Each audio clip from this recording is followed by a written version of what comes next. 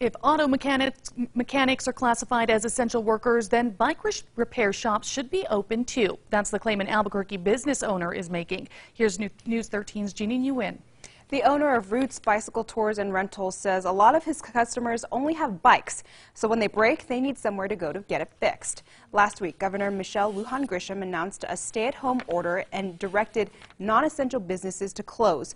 Among that list, bicycle repair shops. That meant a closed sign for Routes Bicycle Tours and Rentals in Old Town. The owner, Joshua Joshua Arnold is now asking the governor's office to reconsider adding bike repair shops to the list of essential businesses. He claims bicycle repairs are just as important as car repairs for people who use bicycles to get around.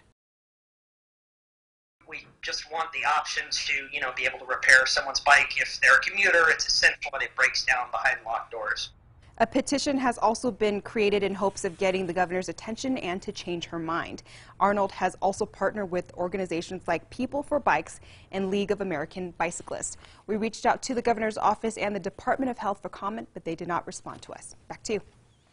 Okay, Jeannie. So far, they've gotten 131 people to sign that petition.